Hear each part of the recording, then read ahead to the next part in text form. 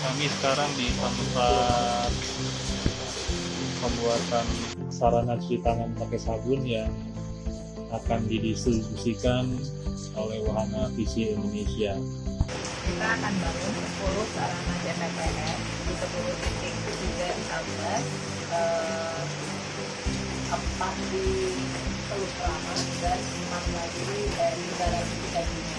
Tiga unit sarana cuci tangan pakai sabun akan didistribusikan di Kecamatan Sajingan Besar.